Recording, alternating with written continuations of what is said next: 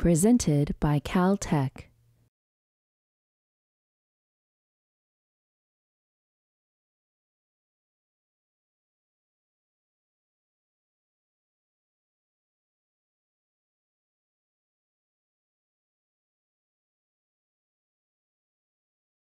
First of all, as I said, welcome back. It's been a while uh, for some of you. Uh, uh, I'm going to out Mel Stevens. I haven't seen him for 50 years, and it's so good to have you have you here, um, and others who haven't been back.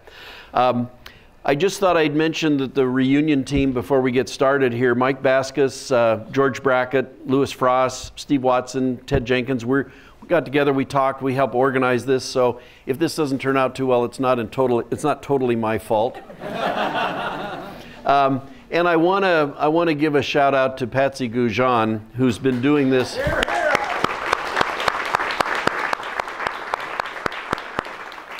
And her team, she's been doing this for years and really does very well. And also, she has a tremendous uh, support from uh, alumni volunteers. I mean, our, one of our class members, uh, um, Jim Crabtree, and uh, I know a lot of others have been active in it, uh, live here locally, and, and help, uh, help with the alumni events every year. So, um, yeah, thanks.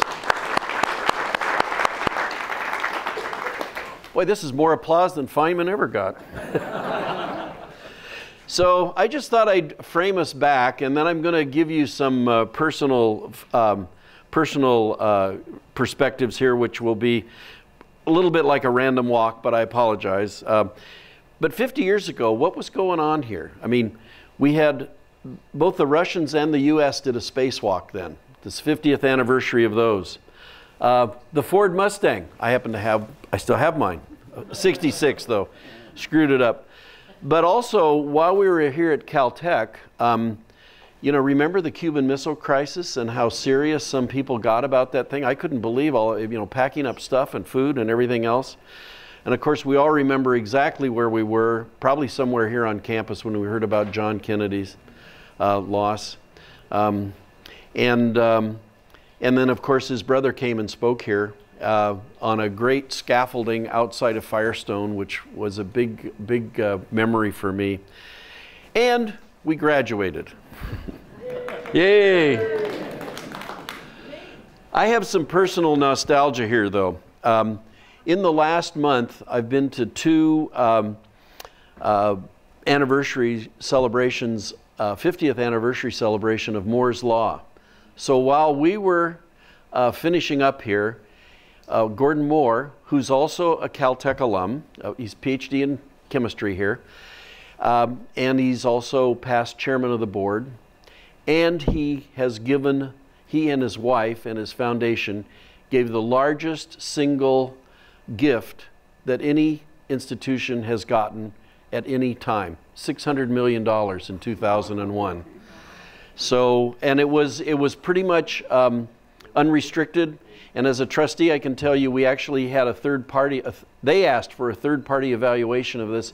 We had it presented to us about six, weeks, six months ago, and they decided it was incredibly effective to take people like we have at Caltech and give them money for the kinds of stuff that is not grant ready at the time, and they go off and they make wonderful discoveries. And, you know, we can, we can probably relate to that as well as anybody. Here, here. so, um, as I said, and at the Computer History Museum, the one I saw there, which was about two or three weeks ago, we had Carver Mead, some of you may know of him, um, and Bill Davidow, who's actually is a Caltech alum. He was got his master's degree here, decided it was going to be too hard to get a PhD, and bailed to Stanford. But he was he was one of my colleagues at Intel, and uh, really did uh, the the expert uh, job on the marketing of the microprocessor. When we first got the thing we had you had to come up with all kinds of support so people could figure out to what to do with them. Now, you know, it's gone crazy. And then at the Exploratorium, just Monday of this week, they had one for Gordon Moore. He was interviewed. He came from Hawaii, where he lives, and he was interviewed by Tom Friedman. And he's 86 now, doing pretty good. Um, but uh, there were, uh, you'll see down here at the bottom, Parker, Wise, Puckett, and I all plus others. There may be some others here that uh, got a chance to meet Gordon Moore in a in a conference room in Spalding. Told us stories about what they were doing at Fairchild R&D and said, "We're hiring. If you're looking for work, come and dial this number and schedule a meeting." And for a, a couple of us, that's what we did, and the rest is history, as we say. So um, I really, this is a personal thing. So sorry for taking us off track, but I think I think because of Gordon Moore's, because of the 50th anniversary, and because he's been such a supporter of Caltech, I thought I had to take a little bit of airtime. Okay, so let's get back what this is about. Do you know where you were sitting? and I would ignore Steve Garrison here for the moment. I don't think he's here. But um, we actually have. Um, one of Ralph Leighton's buds here um, actually printed a large picture, and I think they're going to want signatures uh, for those of you that are here, and we can figure out uh, where everybody sat. So, and I have to thank, oops, I have to thank um, uh, Donald Blumenthal for uh, passing this on to me, I want to say 20 years ago for one of our other reunions. But uh, any rate, um, going to move on to our agenda here. As I said, the, um, the introduction, hopefully I'm, I'm uh, uh, within my time here. Um, we're going to have, we're going to open with Ralph Leighton, and I'll tell you a little bit more about Ralph. And then we're going to have an open mic for about 20 minutes, which means that you're going to have time to tell your stories. We have hand mics, so be sure and get one. My preference would be we're also video recording this. The video recorder's right there in the middle. Um, if you would like to be on, have your piece on video recording, you know, come down here and stand either there or here and use the hand mic, and then um, uh, then you'll be there. And if uh, if it's too much trouble to get down the stairs, you can talk from your local place, and we'll have your audio recorded. Um, this is for academic purposes, but uh, you know, it, we are being video recorded, so uh, stay dressed, and uh, you know, you may have if you have any licensing issues, we'll sick an attorney on you. Um, no, it should should work out fine. So anyway, and then uh, we're going to have Robbie Vogt, Kip Thorne. I will inter, I will introduce those as the time comes up, and then another open mic based on their um, uh, inspiration. And at the end, uh, if we have time left, uh, I think the preference would be for us to use all of that airtime ourselves with our own stories, but if we don't have more, Ralph actually has more material that he could uh, he could show to us. So um, uh, that's there, and this is how we'll end up. After this, as I said, there's a um, the uh, chairman of PMA is uh, hosting us uh, into a reception, which will be downstairs. Um, and be able to mix and mingle, talk about Feynman some more. And then we're all invited to the colloquium, and I'm sorry, which will be back here in this room after the reception. And I'm sorry I don't remember what the topic is, but we'll find out what that is during the reception. Um, so, our, our first speaker is uh, Ralph Leighton. Very simply, he's the, he's the son of uh, Caltech physics professor Bob Leighton, who always stood back up there during the Feynman lectures next to the, you know, to that side of the, uh, of the slide projector, and I'm talking about real slides in the olden days. Uh, he made, uh, he, he actually made these early Feynman books come to print. If you've seen Surely You're Joking, Mr. Feynman, it lists Feynman as the author. And yes, they're Feynman stories, but the guy who transcribed them is Ralph. So, and he's done that, there's, that's the first one, he's done several others. He's also been organizing all of the audio records. He has uh, some questions and stuff he'll tell you about that. And he promotes Richard Feynman. He's really uh, done a good job. He was a friend of Feynman's for, I want to say, at least 10 years um, as he grew up in the Caltech bubble, as he calls it. But he and Richard did a lot of drumming together and, uh, and then even some trips and other things. So uh, a lot of uh, close stories. So he knows them very personally, and he will, um, he will tell us uh, about that. So I would like to turn the podium over to Ralph. There he is. And uh, escape here? Sure. Okay.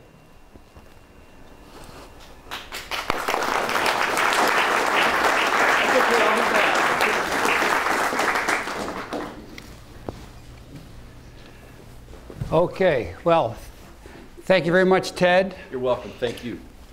Um, I'm going to queue up something here, but before I do, I would first like to acknowledge uh, Michelle Feynman, who is here representing the Feynman family. And uh, if you want to say a word to somebody from the Feynmans, here she is. Uh, just know what she looks like.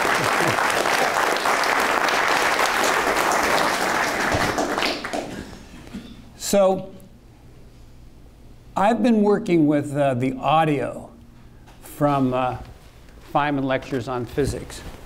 And most of the time, for, for me, my work is something like this. I'll have this in front of me, and then I'll hear something like this. I hope the sound works. February 20th, 1962, Lecture 30. February 20th, 1962, Lecture 30. February 20th, 1962, Lecture 30. This is the historic day in which John Glenn of the United States went into orbit around the Earth. So, I guess you all knew where you were at that moment. I was in print shop up at Elliott Junior High School in Mr. Domenico's class. And in print shop class, we all just listened to the radio and we were listening to uh, whether John Glenn was going to make it down. But Richard Feynman actually tried to deliver a lecture that day, and it's kind of amazing because in this audio he's saying, Would you guys turn that radio down back there? so he was human after all, trying to give a lecture despite John Glenn maybe not making it back to Earth. They didn't know if the retro rockets were going to fire.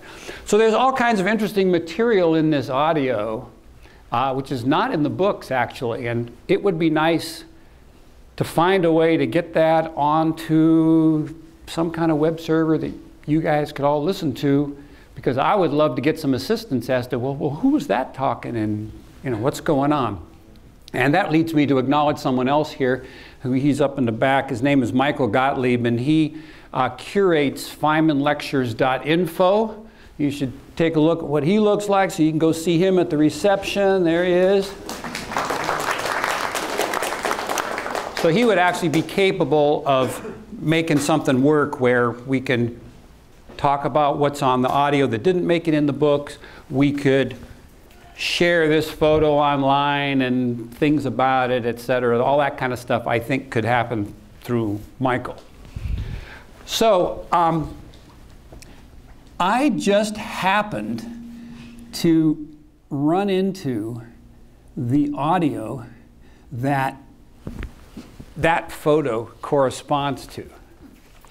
So I thought it would be fun to show you that photo at the moment it was taken and have you hear that. So that's what's going to happen near the end.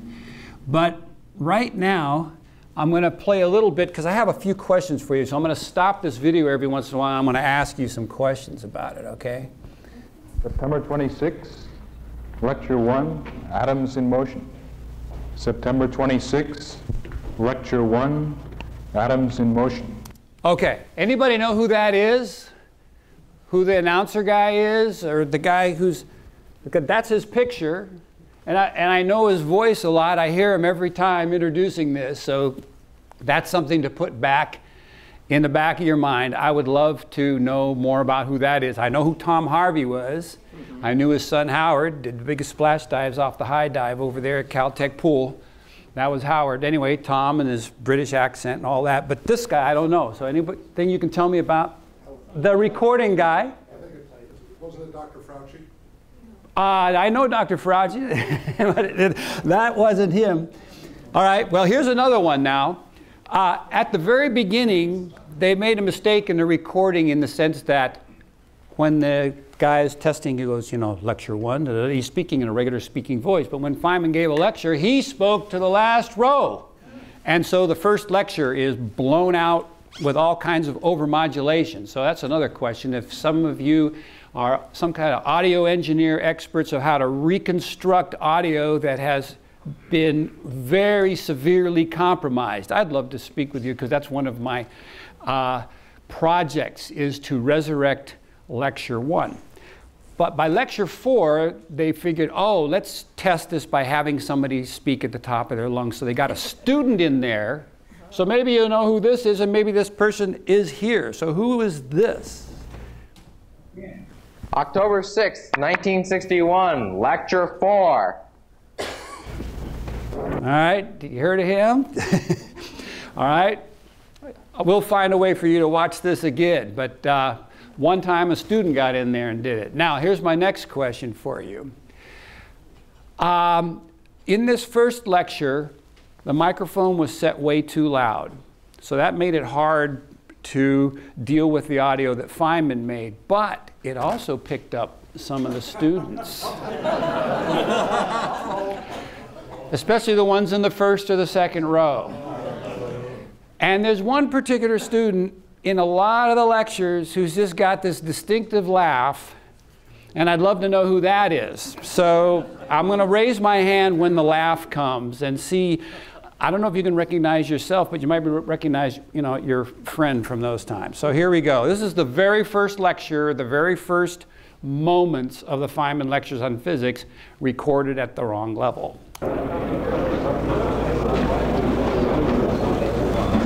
For two years, I'm going to lecture you on physics. I'm going to lecture from the point of view that you are all going to be physicists. It's not the case, of course, but that's what every professor in every subject does. In the first three lectures, nothing is necessary to keep track of. No notes need be taken because what we're trying to develop is a feel for the subject. Of course, you can take down anything that you find interesting that you'd like to remember, but that's about it. That's a joker right there. And you hear his laugh one more time a little bit later in the lecture. Heads blow on soup if you want to cool it off. there he is. Okay, so now we're going to come to the photo, the famous photo. It's rather remarkable that I think the only photo ever taken of you came about because a French magazine came in and did an article about Caltech.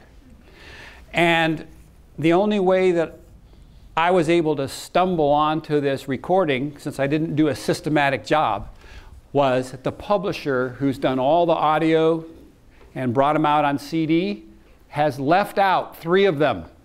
There are three lectures that never got put out on audio.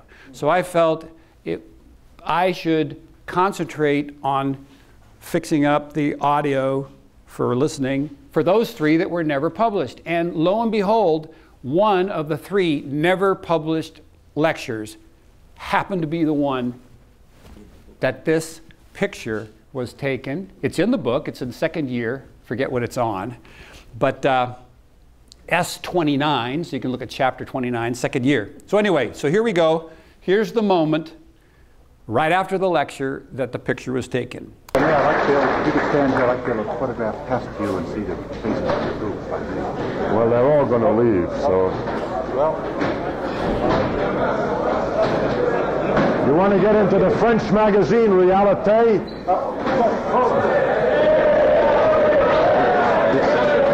All right, all right. Yeah. Where do you want me? Facing them? Yeah, facing them. Okay, we're getting our names in the paper. Okay? That's fine. All right. Thank you. How'd you do? Yeah, you can get, come on. Ask me some questions. You get your picture again. An E-field is, well, uh, everywhere in space there's, there's an E-field. Where's the guy with the cameras? You getting the pictures? Yeah, he's getting the pictures. I feel like a publicity You are a publicity hound. Every once in a while we get caught by somebody. This time we got caught by the French magazine. Has anybody got a serious question? Anybody know who the publicity hound was there? Was that one of the students, or is that somebody else they grabbed? That's nobody you recognize? You mean the man in the picture with Feynman? Yeah, yeah. Well, that's George Chapline. Oh, okay. Hey, we got an answer. He was, he was a graduate student, and uh, then for many years he worked up at uh, UC Livermore, I believe. All right. Great. All right. Thank you, Dr. Frauci. And cool. All right. Well, we are planning to put the um, video that you just saw plus the actual article from the French magazine somewhere online if we can get it past the intellectual property man here, Adam Cochran, because it's from the 60s, we might be able to get away with that, so that you'll be able to read what the French reporter thought about how you guys were dressed, for example.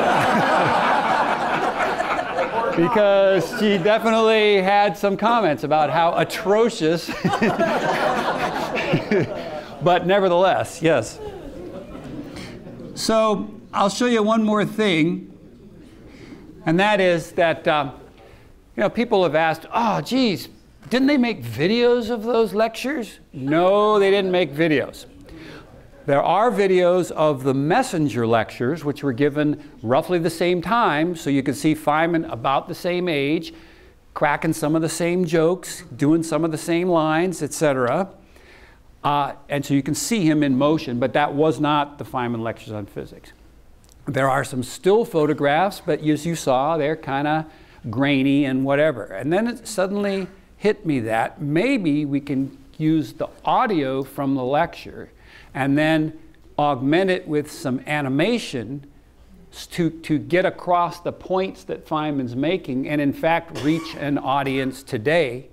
Some of the younger, you know, kids in middle school even can get some of these early concepts so we're doing some experiments now, and that is animating the Feynman lectures on physics. As crazy as that sounds, let me show you an example of what that could look like.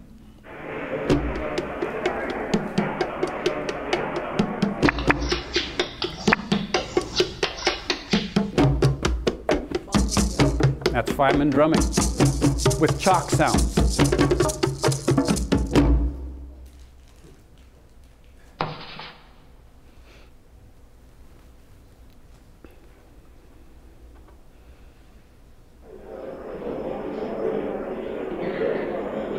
Have the privilege of calling your attention today to the what is probably one of the most far-reaching generalizations of the human mind. And while we're admiring the human mind, we should take some time off to uh, stand in awe of nature, which can follow with such completeness and generality such an elegantly simple principle as the law of gravitation. And what is this law of gravitation?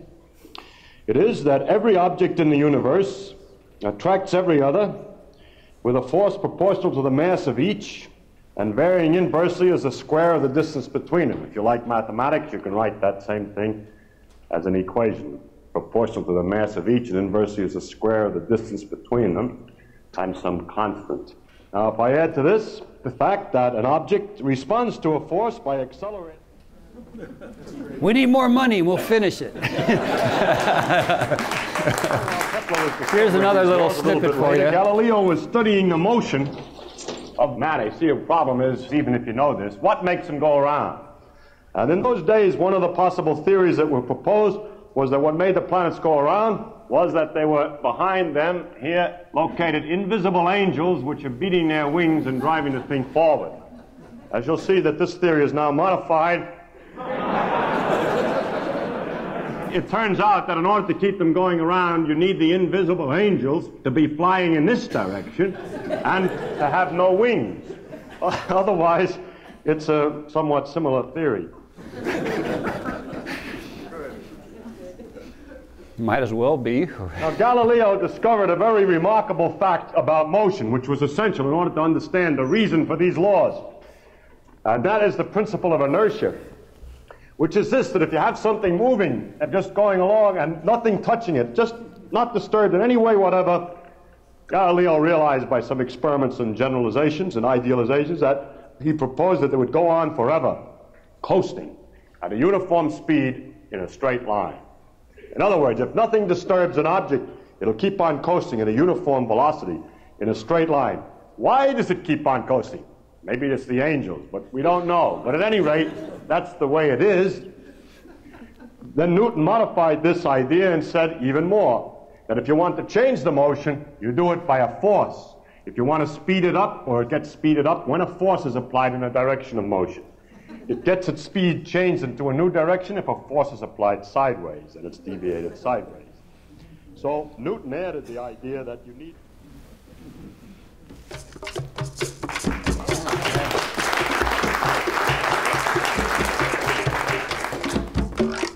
And I'd like to acknowledge the artist who created those, Jen Onuki. He's here.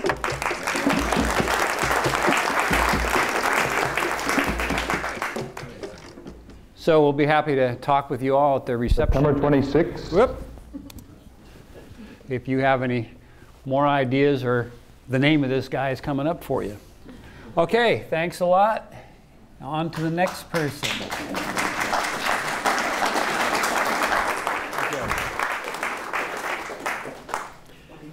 Thank you so much, Ralph. Um, and uh, now it is some of our classmates' turn, and uh, I think it'd be great if you could come down. And uh, we have uh, our open mics are where?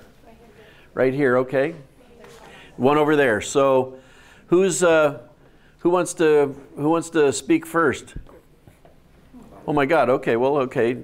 George. Uh, George even has slides, so we're in trouble. oh, I thought you did. I'm sorry. Can you hear? Is that okay? Somewhere there's got to be a switch. No, it should be on. Hello, are you hearing me? He's not as loud as. The... Yes. It it is on. Okay. There we go. All right. Okay, Is there you go. There you go. Well, I bring greetings from two people who are unable to be here. The first is Jerry Nelson, our classmate in 1965, who has gone on to a distinguished career, as most of you know, as a physicist and an astronomer. My wife and I had the um, good fortune to visit with him in Santa Cruz on our way here. Um, Jerry, unfortunately, is unable to join us, having suf- suffered a massive stroke several years back, which completely paralyzed his right side. And so, you, as you know, he's, a, he's well known for the uh, design of the Keck telescope, the segmented um, telescope on Mauna Kea, the 10 meter telescope, and he's now working on the design of a 30 meter telescope. I asked him what he would like to, me to say on his behalf. He ha finds it a little difficult to speak, so this is very short. I learned from Feynman and his courses a guideline that has helped me many times in my career. Keep it simple. I believe we saw just that such such a thing just a minute ago. So I have one other, if you'll uh, allow me. This is from Bob Sweet, who is at the uh, Brookhaven uh, National Lab on the other side of the country. Here is his. Uh, this is slightly longer.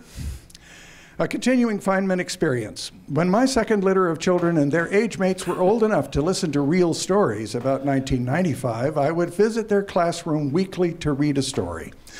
This persisted past daycare into grade school, and through fifth grade, we read all of Tom Sawyer that year. Eventually, I went back to reading monthly to a class of third graders, and I still do it.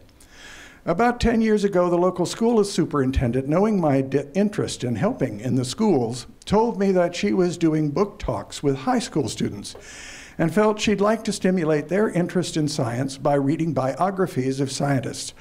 Did I have any books to suggest? You can see where this is going. I offered Surely You're Joking and What Do You Care as examples, plus the book by Gleick, QED, and Six Easy Pieces. She decided that surely you're joking with its trips to strip bars, etc., although clearly the most interesting was not appropriate for the superintendent of schools to offer to her students. So we settled on What Do You Care? with the final section chronicling RPF solving the Challenger disaster mystery.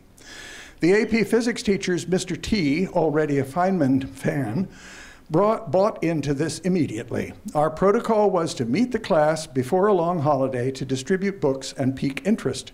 We showed some YouTube snips Mr. T had collected of RPF waxing eloquent over something or other. I showed the iconic picture of us in the lecture hall, which by now we're beginning to be sick of, challenging them to find young Bobby.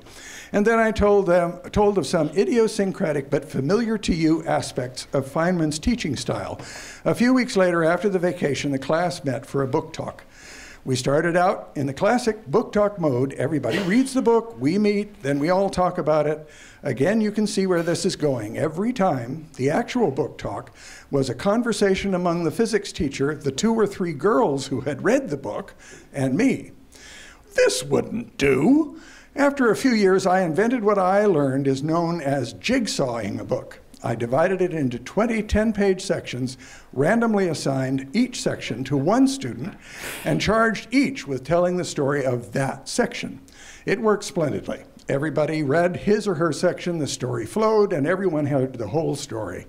And at the end, all the students all had a pretty good appreciation for the man, how he interacted with people, and how he solved problems. It was very fun.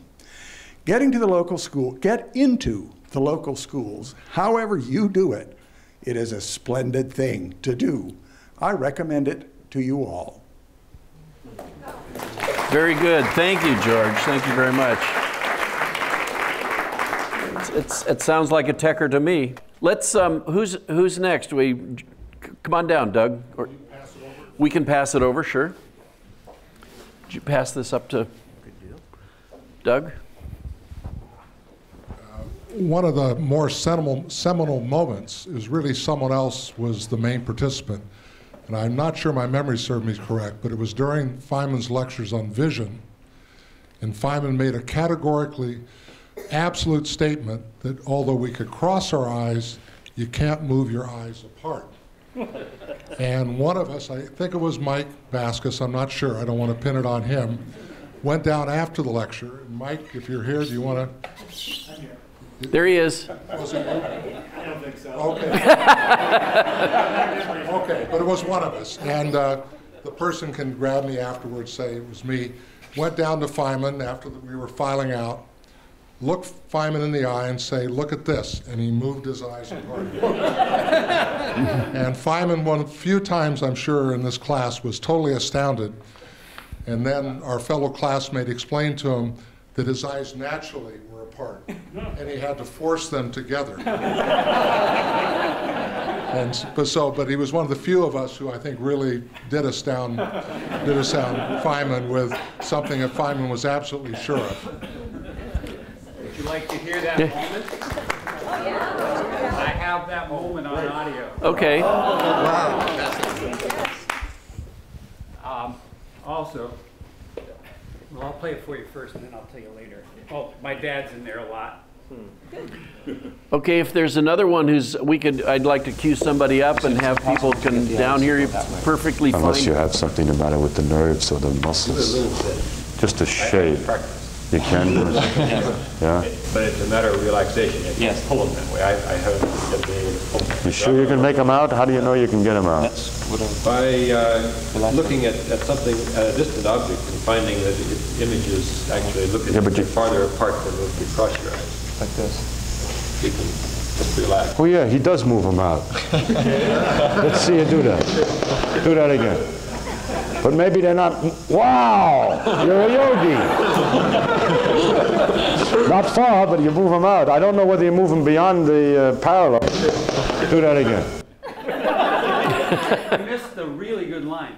Wow, he's a yogi. Let's do it again this time. But maybe they're not. Wow, you're a yogi. not far, but you move them out. I don't know whether you move them beyond the uh, parallel or not. Do you have? And then they go on this whole thing about look up there, look up there, and how many images you see these guys. Yeah. I, sh I shouldn't out him, but I, I did talk to one of our class members who does have eye tracking problems, and it could have been him. So. I don't, I don't see him here in the audience, and I don't think it's fair to mention it without talking with him. But uh, anyway, that, I, I think I might know who that is. I'll, I'll ask him if it's okay to. Well, well, Lewis, was it you? No, I don't think so. Okay, all right, all right. Okay.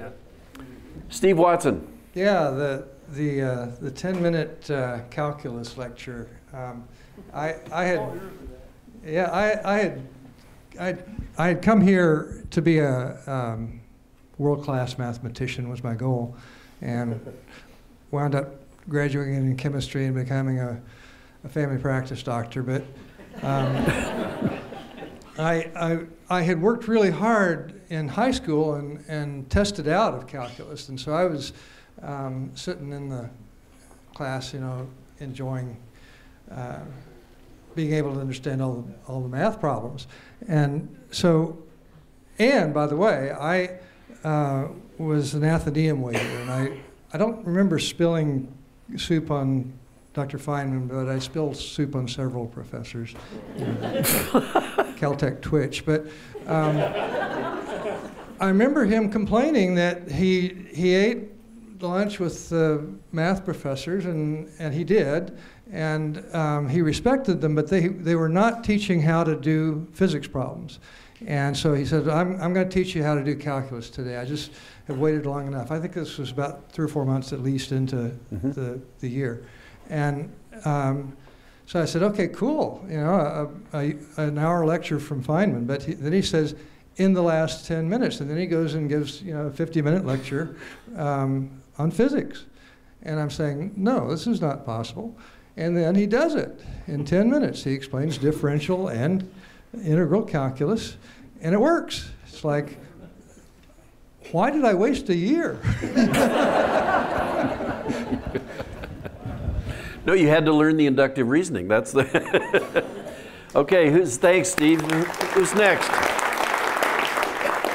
Oh, we have Mike Baskus over here on the other side. I think I know what this story is going to be. Oh, I don't know. You know, you know that. Well, following up on that, I remember many times, and I think you'll all resonate with this, sitting up in the front row listening to the lecture and then walking back to Ricketts down the Olive Walk and saying, Oh, this is really easy. I understand it. It was such a great explanation. And then I walked into my room and they gave us these questions to solve. So I start reading the question and I have absolutely no way to solve this problem. absolutely no. I have no idea.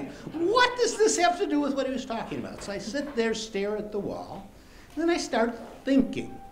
And that's the operative word, thinking. And that's what Feynman taught me to do.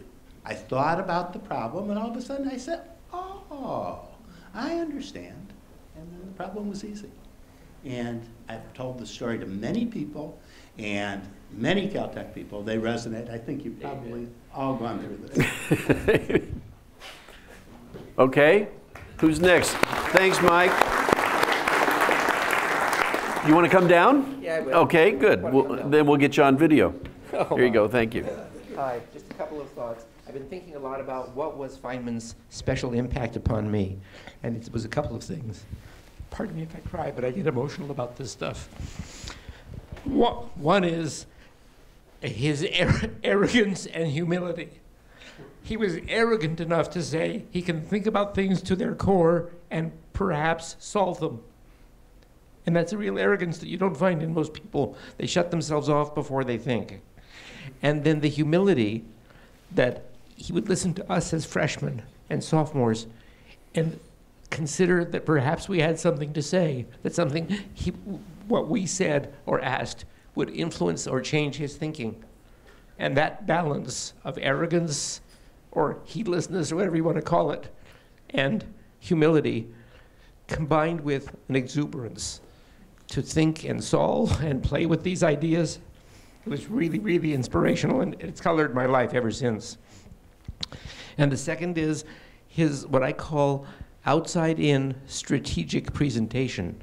Um, for a while, I taught at San Diego State University, and I asked, I started by saying, What should I tell them, the students? And I realized it doesn't matter what I tell them. I have to dig a hole that they want to fill. So I have to make them curious and anxious to solve problems or understand things. Then I have to give them a vehicle for understanding. And most of the time, that's pretty straightforward. You paint a picture or something or other, but they can identify with. But once in a while, you have to be pretty strategic. and Feynman was. Uh, you can give them a solution, lead them along the path, and then say, but that doesn't make sense, does it?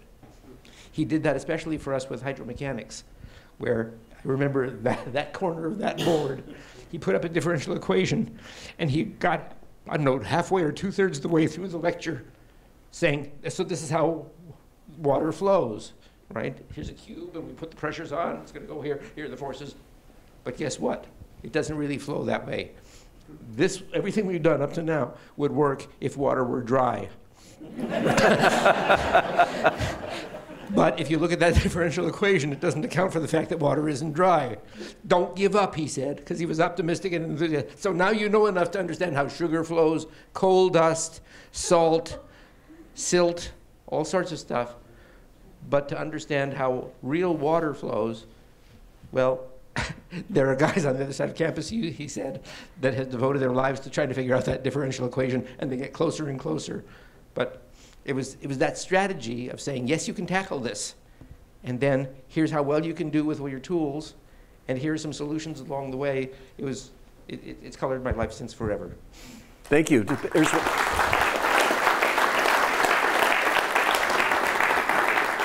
Very good. Thank you, Benjamin. Our next speaker is uh, Jim Crabtree. I know Jim. I know Ted. Hi, Jim. Hi, Ted. When I was in high school, they called me UNIVAC. But when I came to Caltech, I was really a high impedance inductor with low capacitance. and Ted pointed out that that was a, uh, what was that, a low Q resonator. Low Q resonator. and I went on internet and looked it up, and I, I realized that, yeah, I wasn't really very sharp, and I was too broad-minded. anyway. I, Wait, you're not going to talk about your beer uh, activity? oh, yeah, making beer in my room. Almost got thrown out by the UCCs. Head of the surfing club and sailing club, things like that, and all these extracurricular activities. But uh, I really loved Richard Feynman, like many of us did. I had a heck of a time understanding him, being, a, being an inductor, as I was. And uh, like Mike pointed out, you know, generally the oscillations stay around for a while, but with a low Q modulator, resonator, the oscillations die out very rapidly. and when I would get home with the homework sheet, I would, I would just look at it with a blank stare because I didn't know what to do with it. And I never did have that aha moment. so, anyway, but I, I actually have to report to you that I came in here one day at half hour before the lecture because I wanted to see what Dick Feynman was doing in here. And I was just amazed. Now, Ralph's going to have a hard time duplicating this, but he came in here and he pulled down all of these boards, all nine of them, and wrote in his very precise small hand the lecture for the day. But it was only like 20 minutes of the lecture for the day. and then he hid all the stuff back up under the boards, and the class would come in. And he would start with this infamous board on the left, and he would start by pulling it down one by one, and then he would erase with his left hand as he went along. You remember him doing that? And, and those of us who were trying to get a nugget of truth out of it were out of luck. And then he'd go through all these boards and, and start over again. So, you know, I, I met him one time at a class reunion, and he said to me, you know, we were talking, and he said, you know, he said, you're at the height of your powers. You're the same age as I was when I was doing my physics lectures. And I thought, wow. And I had, I had always watched Feynman very carefully at what he said, because what he said was so important. But what he didn't say really got to me, because I, I realized how much he struggled with certain questions that he could not answer. And we all know what those questions are if we read those books. And I have those books on the internet on my PC at work every day. Uh, so I'm constantly refreshing on it. There were two areas that he avoided assiduously. One was the Hamiltonian of the gyroscope, and the other was uh, the Einstein question. Okay, this is the centennial of, of, of general relativity, Albert Einstein. And Einstein was asked by particle physics, particle physicists, what they thought of their work, what he thought of their work with uh, particles. And Einstein answered, I just want to know what an electron is. okay, a simple question. Yeah, what is an electron? And so Feynman did not talk about Schrodinger's Zitterbewegung. He did not talk about the Parson magneton. He didn't talk about any alternative models. He just jumped right into quantum mechanics. And that's fine, and quantum mechanics is powerful and a useful tool. But at that time when I met him and Gweneth, uh, I developed this strong obsession with finding out what the electron really is. And I've spent from 1965 on working on that question and, and coming up with my own answers. And for that, and Feynman is with me in so many ways. I feel his presence in my life. I feel connected to Feynman. Every now and then I start writing like Feynman. you know, it's like, it's, I admit it's an obsession, but it's, it's an Aspie thing. You know, we Asperger's, that's what we do, we obsess. So when I'm not working at work, I'm working on physics, much to the irritation of my wife, who is sitting here, um, or doing honeydew lists, if I remember to do them. anyway, thank you, Dick. We love you. We had a wonderful time, and the beat goes on. Uh, good, very good, Jim.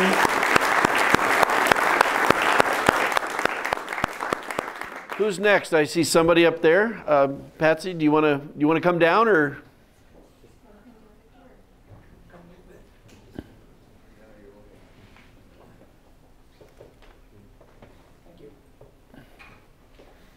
Thank you for allowing us the video recording. okay. I, I have two memories that, I want to share with you about Dick Feynman. Uh, I started graduate school the year he arrived here in 1950. Um, one memory was physics department picnics. Many of you have gone to them. Can you imagine, those of you who weren't there, what Feynman did at physics department picnics? He entertained the children. the mothers loved him. and he was great at it with complete nonsense. I mean, nothing that you or I would think of doing. He would just make totally irrational sounds and motions and everything else, and the children absolutely loved it. The other part of the story, um, even though I'm an experimental physicist, Feynman was on my orals committee. and you defended okay. well, I'll tell you what he did. He started, when it's his turn to interrogate me, he said, um, I notice you've got some theoretical stuff in your thesis. I jumped right in. I said, Well, it's only translation of existing theoretical material into a form that's useful for me as an experimentalist. Said, you know, I'm going to disarm this, this right away. so then he says, okay. Um, he says, I remember the question. So if you put a black body out in space at the distance from the sun that the Earth is, uh, what temperature will it achieve? My first reaction is, oh my God, I've forgotten the Stefan Boltzmann constant, which is the constant to calculate the amount of radiation energy from a given temperature object. And in typical Feynman fashion, he says, well, uh, what if the sun surrounded you? And suddenly it lit up. Because if the sun surrounded you, the temperature would be the same as the sun. But now the sun subtends only a little solid angle, and all you have to do is estimate the solid angle, and you get the answer. typical Feynman. He'd give you a hint. If you caught on, okay. If not, he might give you another hint. And then you get graded by the number of hints.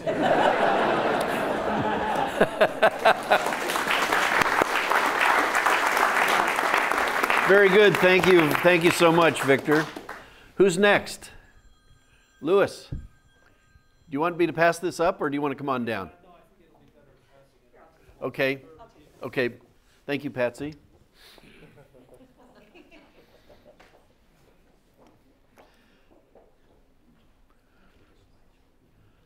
I want to tell you at the beginning we had some very technical proposals that uh, might have appeared today, and I said, well, we're going to have a mixed audience, so uh, let's be a little bit careful and explain it all. Uh, Jim did a good job on his. Lewis, Lewis, uh, Lewis had some other materials too, but go ahead, Lewis.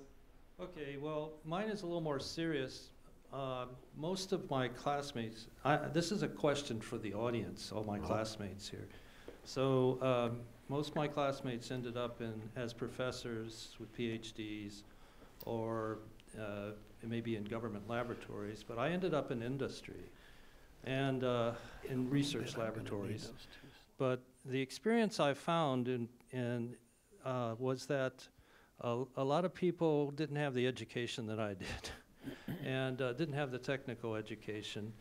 And uh, there were there were different groups. There were people, that there were salesmen, uh, not, not scientists or engineers, but there were salesmen who knew how to uh, sell a project, like, say, time travel or something like that. So they would sell things that were absurd on a technical level, but they were successful doing it. And I always wondered, wonder whether, whether they just didn't have the education or whether they were uh, being dishonest. I mean, you, you could say, if you didn't know, you could say, well, I'm pitching something and I really don't know, but okay, maybe somebody will buy it.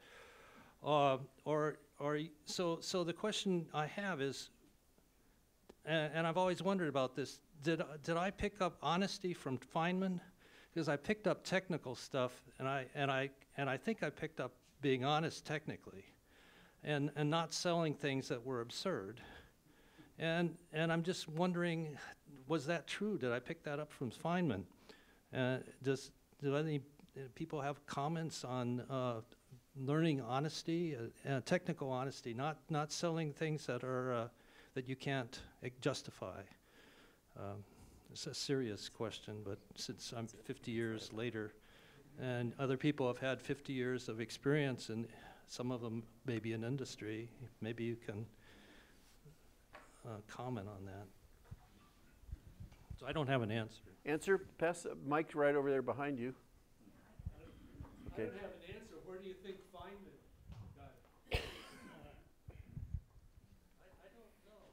Um, he, claimed from his he claimed from his father. He wrote about that.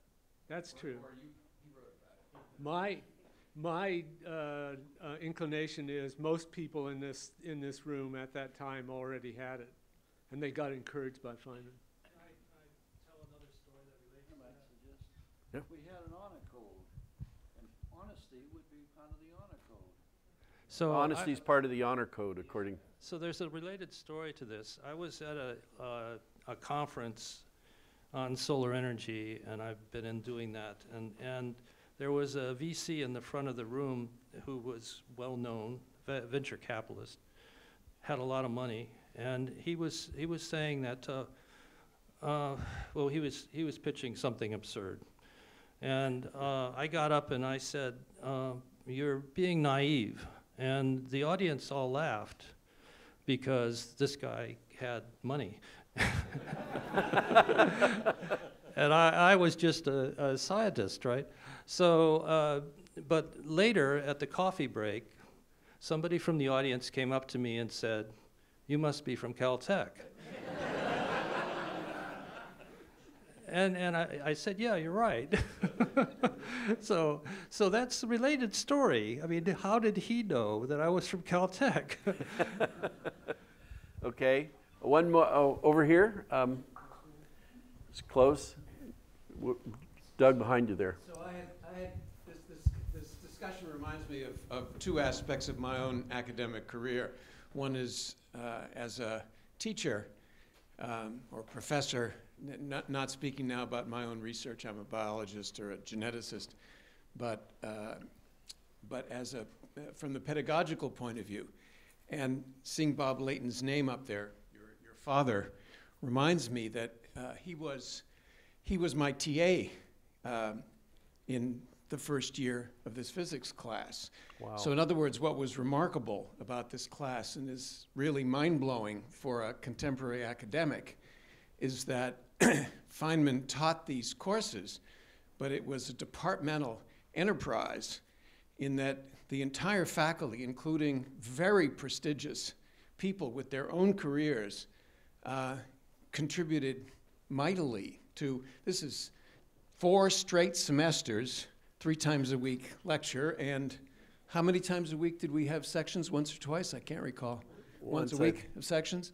And so the, the idea, I've said at lunch to my colleagues uh, at Brandeis, can you imagine all of you contributing to a, uh, a joint venture? So this was, I, I don't quite understand the dynamics, whether this was uh, um, his, his own individual magnetism or a different era when, when people really did things collectively and were not quite as ego driven as today, or exactly uh, how this came about. So that's, that's from the teacher's side or the professor's side. And then from the student side, I've taught freshmen a couple of times a seminar on a course entitled something like Life Sciences for Poets, Lawyers, and Young People What Every Educated Person Should Know About What's Happened in Life Sciences over the last 50 years. You know, how, does, how do we think the brain works, cancer, the kinds of things that we have just, I have just been around and, and watched um, explode uh, since, since the 60s.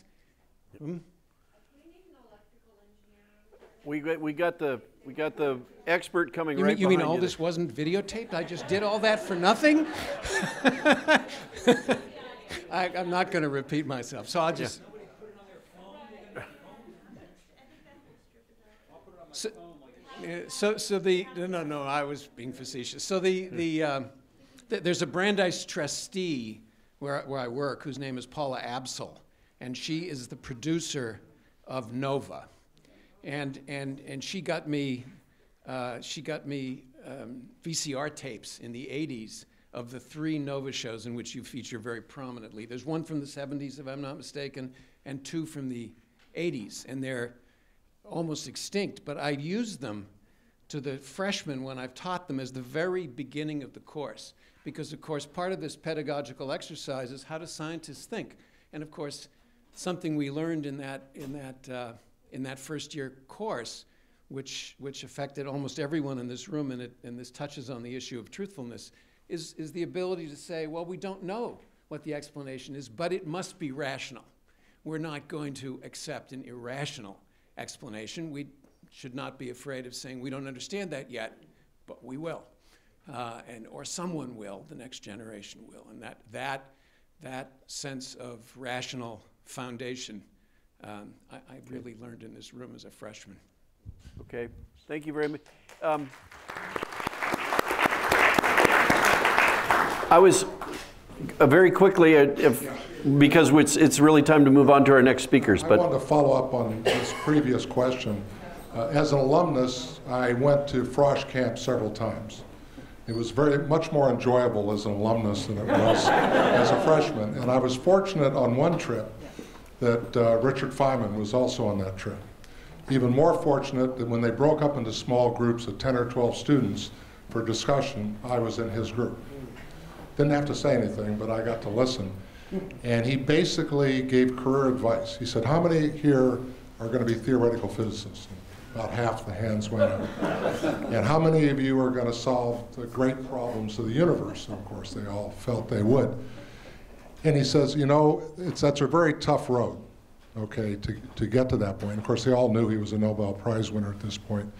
He says, I don't care where you go with your physics education, whether it's a big company, small company, or whatever, people are going to come to you with questions. You are going to be the person that can solve the problems that they can't have that'll help them further what they're trying to do.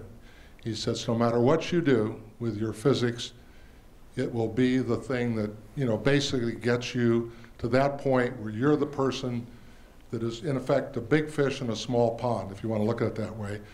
And as he was giving this advice, which I've, having been alumnus and been in the workforce for a while, thought it was very, very astute advice. I looked around at these students and you could see, maybe the other guy's going to do that, but I'm going to be a great theoretical physicist. But it just showed you how much he cared about students, even at this point, trying to say, look, you know, everybody can't win a Nobel Prize, but there are great things that you still can do, and, and this is the place to learn how to do it. So. Okay, good story, Doug. I'm, you got, can you do this? How long are you going to take? Okay, we'll do two minutes, and that's it. Then, then. My name is Fred Shair. I was a professor of chemical engineering at Caltech while, uh, while uh, Richard Feynman was alive. And uh, they mentioned uh, freshman camp. I had the fortune of sailing out with John Matthews and Matthews and, and his wife and John and uh, Feynman himself. And, and I once asked him then, when did you really begin to feel at, at home in physics? And he said, well, I have never really totally felt at home in physics, but I learned an awful lot and I felt a lot more confident after I taught freshman physics. He said the wow. first he said the first year he said all these brilliant kids, they didn't know much physics, but they asked questions. And they weren't and he said I learned more about how to go to look at it from six different ways. And then uh, we went to yeah, I slept on one side of the uh, deck and, and Feynman on the other side. John and his wife were in the bulkhead. And, and uh, not wanting to bother uh, them, he wanted to go. He wanted to urinate. He gets up and he goes over to the port side, and, and all of a sudden I hear this, "Wow!" He says, "Chemiluminescence. It's bioluminescence." and he says, "You got to try this." very good. Very good. That was. Take that, physicist, from a chemist. no, I'd um, thank you. Those, those are that's a great collection of stories there so far. I'm going to move on to our next speakers, as though you don't need any more uh, motivation. But I, I think having this perspective is incredibly useful. Um, I'm going to introduce both of these together. Robbie will talk first. Robbie Vogt. Uh, uh, he actually supported Bob Leighton, who is the one who followed Feynman uh, giving the uh, lectures for the class right after us.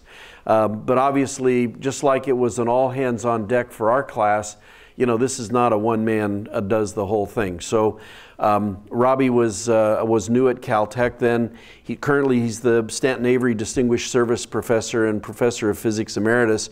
But um, you know, among the that task, look at the other stuff he's done: division chair, provost, director of LIGO, and uh, so Caltech has uh, has a, a great uh, debt to owe him.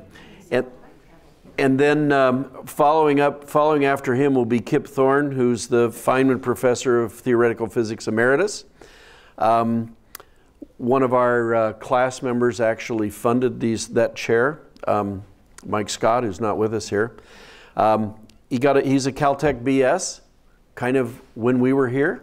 Um, went on to um, Princeton and came back and uh, uh, on the Caltech faculty since 1966. Um, and then um, uh, more recent, he's, he's been very active in LIGO, and more recently, he's uh, uh, the technical producer on Interstellar, that movie, written a book on that as well.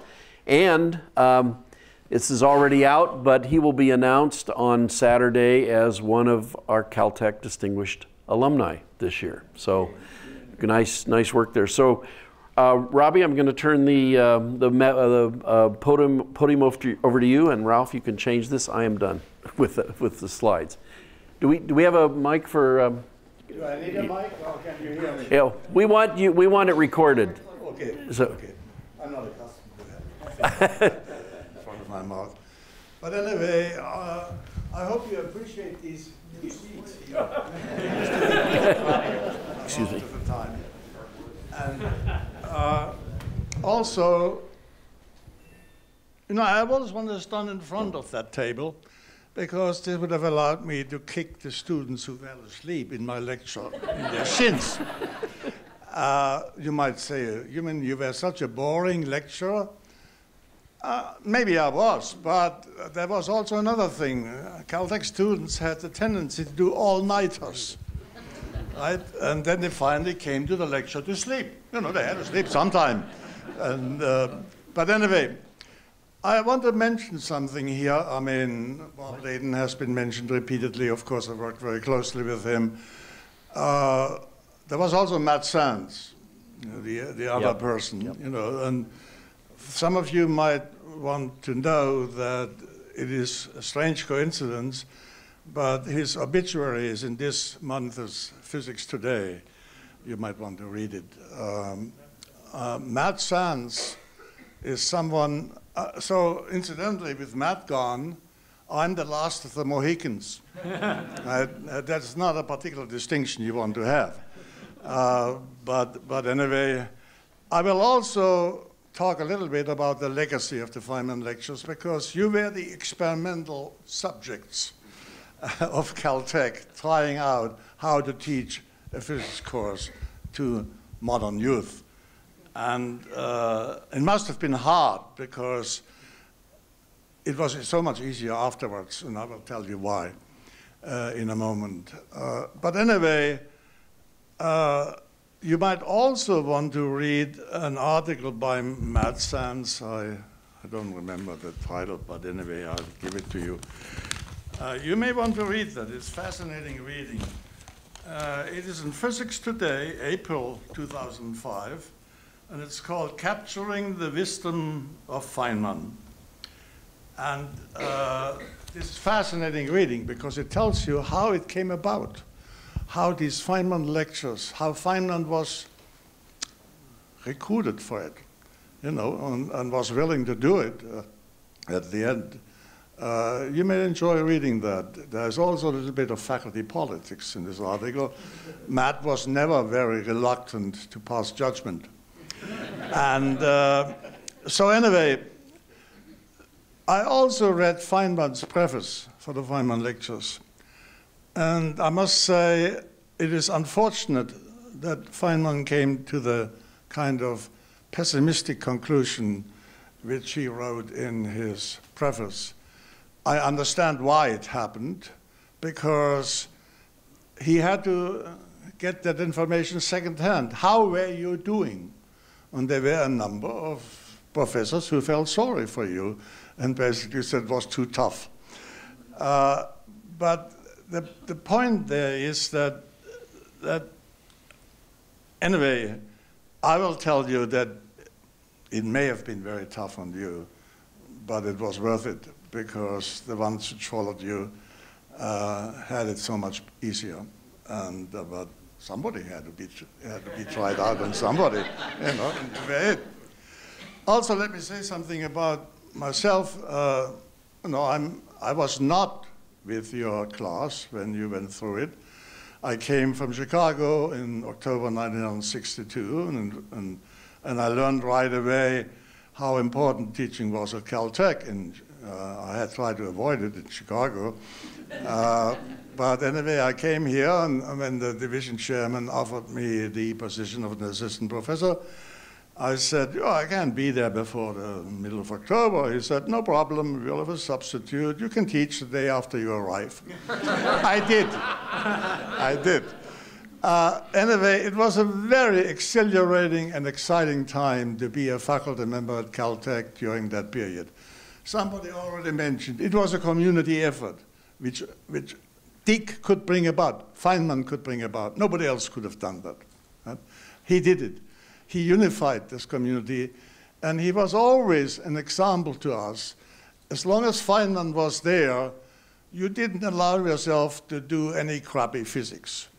Uh, because you were embarrassed. He did not criticize you, but you know he, he would catch on, you know, and you were embarrassed. And so anyway, uh, I came at that time, and Bob Leighton was the first faculty member who lectured after Feynman, the freshman course, and I was assigned to his course. I taught two recitation sections, ran the freshman lab, and worked very closely with Bob.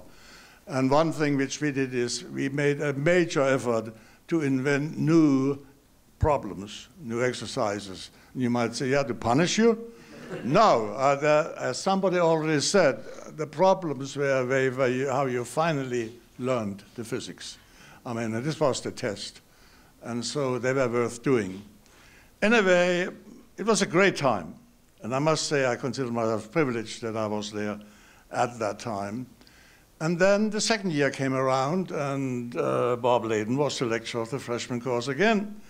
And in the second week of October, he called me in his office and says, Robbie, I have decided to go on a sabbatical, and you are it. the course is all yours. Now, Matt Sands had apparently already gotten wind of that. And Matt Sands was, I was in Bob's office. Matt Sands was stomping up and down the hallway, yelling, Leighton has lost his mind. He's crazy. He gives the Feynman course to a green, inexperienced assistant professor. And, and incidentally, Matt was a friend of mine. I mean, but nevertheless, he felt that was a little bit going too far.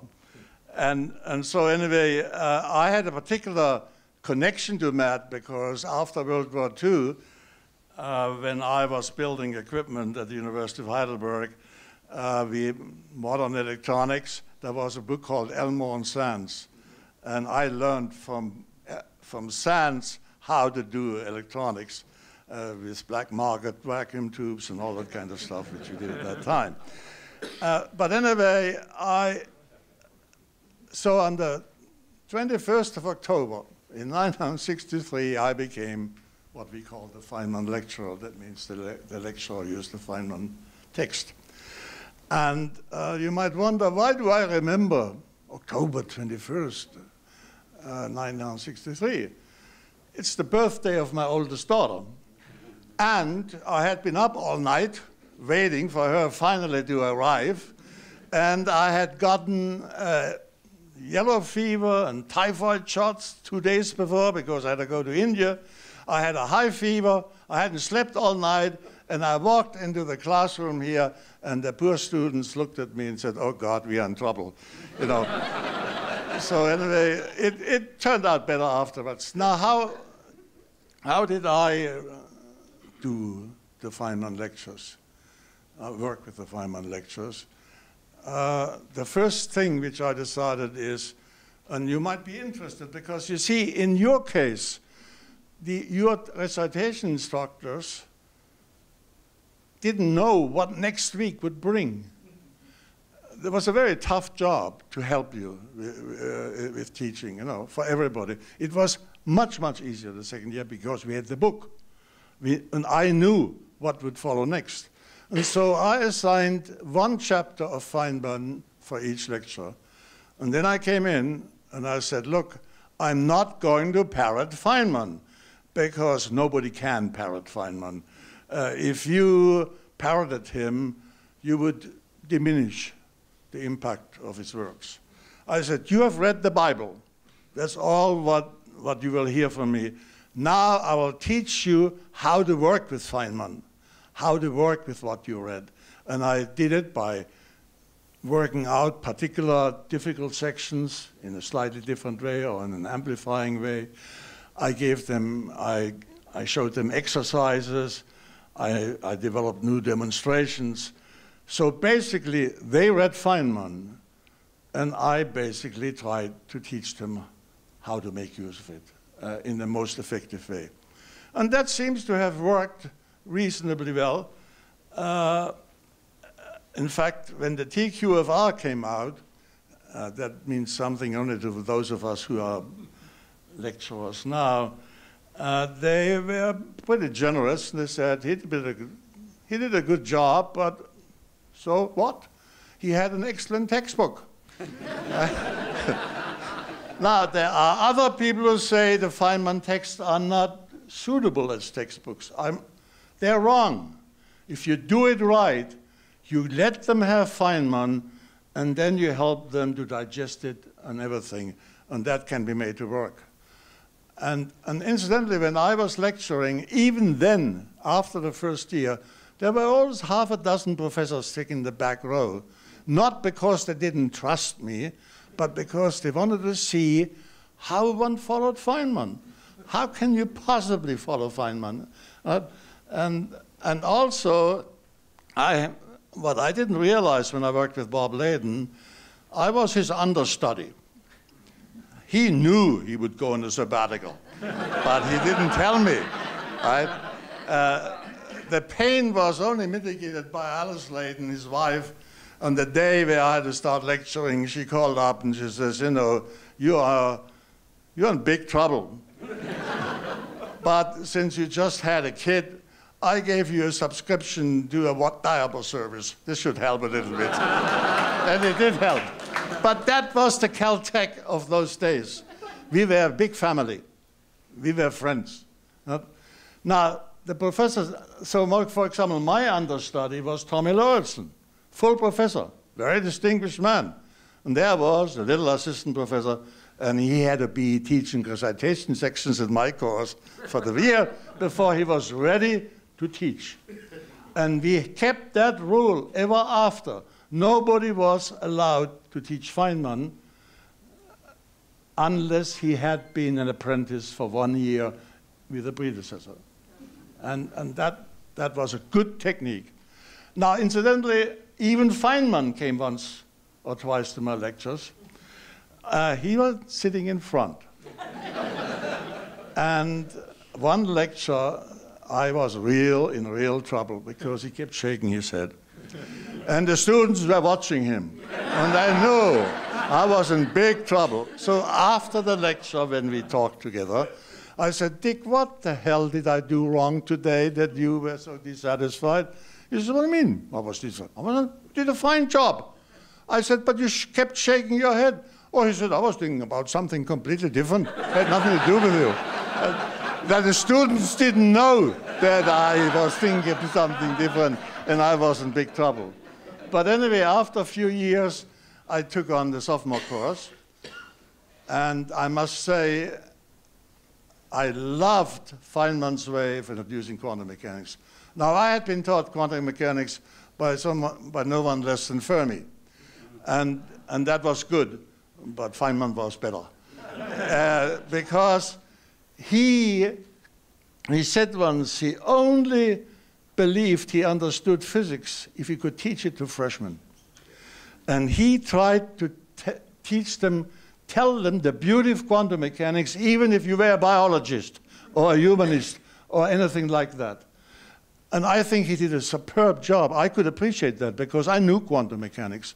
And so uh, in my junior year, I, in, when I taught a junior course, I was never a junior. Uh, but in, when I taught a junior course in modern physics, I used Feynman quantum mechanics extensively what he had taught them in as sophomores, or what I had regurgitated to them uh, when they were sophomores. And uh, there were certain things you could do with Feynman quantum mechanics which were extremely elegant and, and much better. One of my favorite professors in Chicago had been Val Telegdi. He wrote once a paper, Nuovo Cimento, which had 16, 20 pages, and I think he calculated the G factor of the electron. And I told my students, juniors at Caltech, why don't you calculate a G factor in less than 16 pages and with less much of mathematics because you have the power. And I tell you, more than half the class came in with perfect solutions and they were proud as peacocks because they had done something on two pages which a famous professor had done on 16 pages with a lot of mathematics. Right? And so the Caltech students, if you gave them a chance, they were always there to, to get you out of trouble. And, uh, and anyway, at this point, maybe I should just shut up.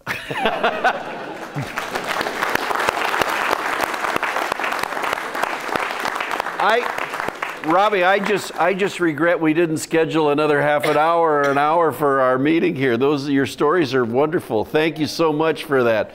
Thank you. Thank you. I'm going to pass this uh, over to Kip, and uh, I might ask Tom Soifer.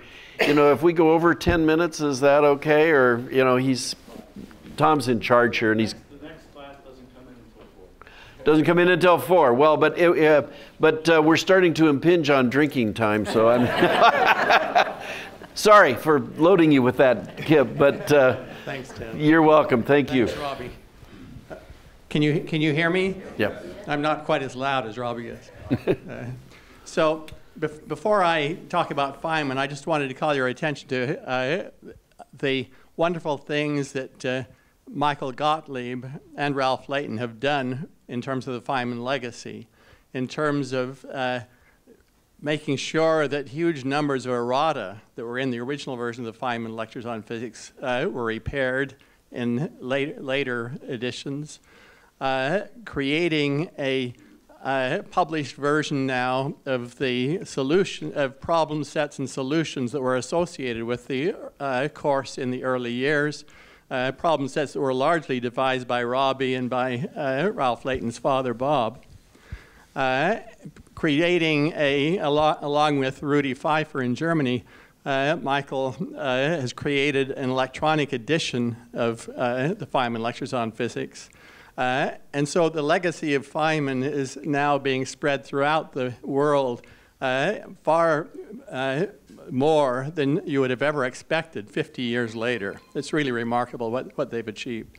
I'd like to talk for just a few minutes about uh, two of the things that I learned uh, were uh, secrets of Feynman's great success in physics as a researcher. Uh, and I'll tell these to you in terms of stories. Uh, the first story begins with uh, Maarten Schmidt's discovery of quasars here at Caltech in 1963. This was while you were uh, taking sophomore physics course from Feynman in your second term. Uh, Maarten discovered quasars, and uh, huge numbers of people around the world start to struggle, try, try to understand what they were. Fred Hoyle was visiting Caltech, and uh, he and Willie Fowler devised a theory of quasars based on supermassive stars, stars that uh, weighed, say, a million times what the sun weighs. And they gave a seminar on this. And uh, in the seminar here at Caltech, uh, this would been, by then have been your, uh, the, your third term as, as sophomores. In the seminar, while they were talking about these marvelous supermassive stars, Feynman stood up and objected. He said, you know, because of general relativity, those stars are going to be unstable. They'll collapse. And uh, everybody's jaws dropped. And uh, uh, shortly thereafter, Subrahmanyan Chandrasekhar at the University of Chicago published a paper on the same thing, explaining about this relativistic instability that nobody had ever known about before. Uh, but it became legendary, a legendary example of Richard Feynman's insights that he just knew this that uh, these stars were going to be unstable, they would implode, and, uh, and uh, so uh, this, uh, this theory of Hoyle and Fowler couldn't be right in the way they proposed it. So uh, when I came back on the faculty a few later, years later, I asked Dick about it. I said, how did you know? And he said, well, I'll show you. And so he came back the next day and brought me a sheaf of 40 pa pages of calculations he had done he had been curious because our common mentor, John Wheeler at Princeton, had been uh, urging everybody to study the collapse of objects to form what we now call black holes. This was one a great crisis in physics, a great opportunity to really learn about the nature of the interface between uh, quantum theory and general relativity. And so uh, Dick, by himself, just curious about this, had done 40 pages of calculations trying to understand the onset of gravitational collapse of stars. He'd come to understand it, he uh, was happy with it, and he put these 40 pages of calculations, hand calculations away. They included solving with a slide rule the equation for the onset of the collapse numerically, uh, because he didn't have digital computers in those days. And so, here, here, and so I asked Feynman, how did, how did you know? Well, this was the answer. He had, because of his own intellectual curiosity, he had pursued this question, he had satisfied himself with it, and he had never told anybody about it. He'd just done this uh, at home uh, by himself, just out of intellectual curiosity. And then it happened that uh, the, this theory of quasars was proposed uh, some months later, or maybe a, something like a year later, I'm not sure. And uh, so he knew from the sweat of his own brow uh, that these things were going to be unstable. Of course, he didn't tell uh, his colleagues at the time that he knew. Uh, it was Feynman, the oracle, announcing things. So the secret to many I know of his miraculous oracular remarks was hard work of his own, driven by intellectual curiosity, working at home uh, by himself, just trying to understand the universe around us. So my uh, second story, I had three stories. I, am cutting back to two. I have to just see which one it is. Okay. Uh, when I came back on the faculty, uh, I uh, found that Richard Feynman was a wonderful person to go to to help you solve problems. Now, this goes back to Doug's remark about what Feynman said uh, you might do after you get your degrees. Go and be the guru that helps, you, helps other people solve problems. Well, for me, he was my guru, helped me solve problems. Uh, if I thought I had an idea, a brilliant idea, I would go to Dick and I would say, Can you tear this idea apart? Uh, let's talk about it, let's brainstorm. Uh, and so we would brainstorm. And uh, I remember this happening three or four times during my career. Uh, you know, I, I, would have a great idea about once every five or ten years. So three or four times during my career was about par, the, par for the course. Anyway, so I would go to him. We would talk for a few hours. He would object to this, that, or the other thing. I would say, I'm going to go home and I'm going to uh, think about it, uh, and I'll come back tomorrow and uh, let's talk some more. He said, sure. So I'd go back the next day. Remarkably, he had almost zero memory of what we had discussed the preceding day. But that didn't matter because he could recreate it all very, very quickly. Feynman had the power of figuring things out, and so he didn't have to remember things. Or maybe it was that he didn't, wasn't able to remember things, so he developed the power of finding things out. I'm not sure which it is.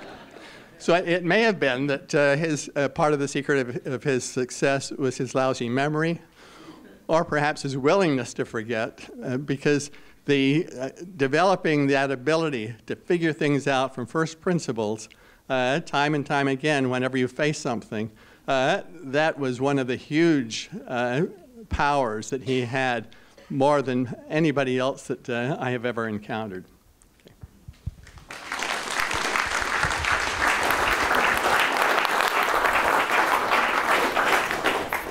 Kip and Robbie, thank you guys so much. That was that was really good.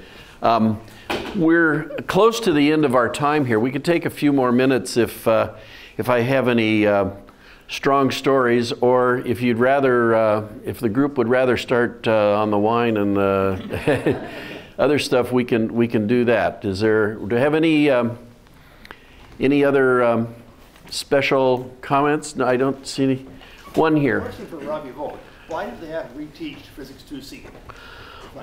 Why did they have to reteach Physics 2C um, for, without, um, after Feynman? He, he redid it. He, he redid Physics 2C. So Feynman taught Physics 2C uh, their sophomore year, but then he retaught it uh, their junior year for the next class. Yeah, I, I don't know the reason for that. Uh, I, yeah, I don't know the reason either, but I failed it the first time, so I had to take it again myself. Sorry, just just to be totally Gary here. Uh, just a word on physics 2C. I got the only blue slip of my whole career here, halfway through it, and I said, "I might gonna flunk this thing. That's not good." So I took a different tact. I went back and I said, I'm not going to take any notes. I'm just going to do a mind meld with, uh, with Dick. And somehow you'd go in this trance, and his thoughts would just flow into my head. It was a miracle. And I got an A plus in 2C. Well, d- damn it, we're in the same house. Why didn't you tell me that? wow. Um, Roger? Okay, he's got a quick one.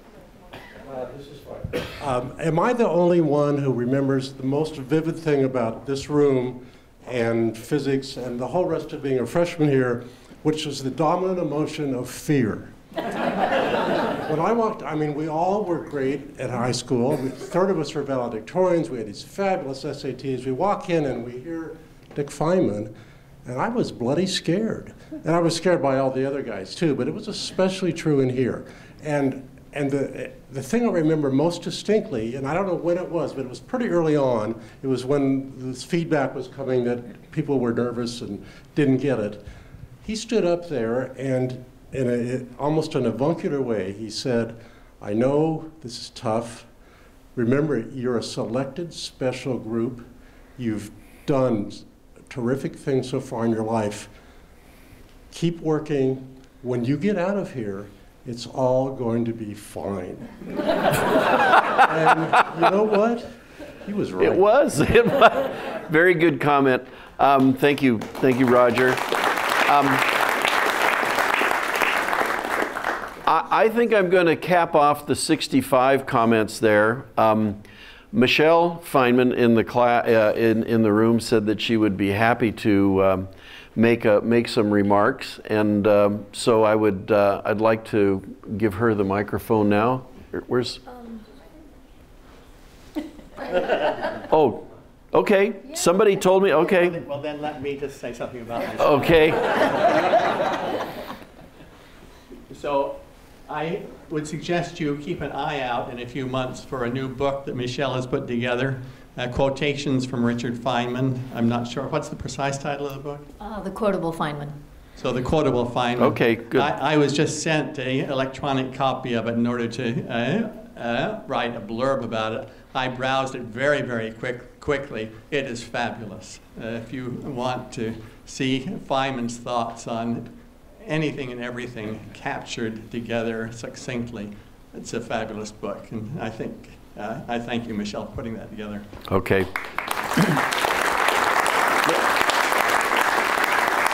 I apologize. That was a, that was a rumor that I guess was not uh, true. Um, Patsy, could you uh, take a mic up to Tom Soifer? I'm going to give him the uh, final thing here to uh, tell us about. I told them I did not know what the colloquium subject was because I had my, I had my, I had my own stress about running this meeting. okay, well, uh, let me. By the way, let me just say this is Tom Soifer, chairman of the uh, Physics, Math, and Astronomy uh, Division, and class and of '68. Class of '68. So when I was, I came on uh, onto the campus for the first time when when those of you who were really in the class of '65 were, were, seniors. You. would already survived the freshman, the the physics, the Feynman physics, and uh, Robbie was the lecturer in my class, and I I would sit back up there and uh, stay awake. Um, so let me add my welcome to you. It's a real pleasure to uh, uh, have you here and, and participate. I've, I've really enjoyed this.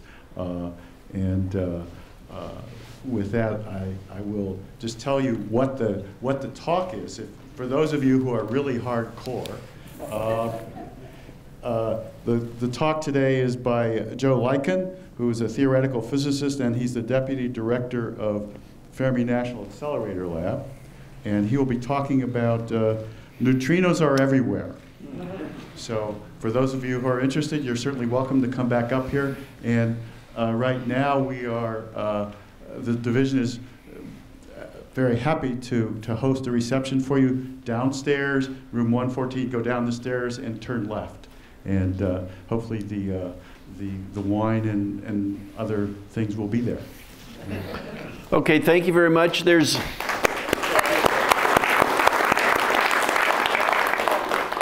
I'm going to leave the picture here. I think those of you that as you cycle by, if you would could get your name uh, recorded on there, and then we'll um, Ralph, somebody else can then bring it back downstairs to those who uh, who missed it. So don't panic; it won't be your only chance. But uh, as you're as you're rotating out, go ahead and take this. And again, thank you for uh, a wonderful uh, a wonderful session.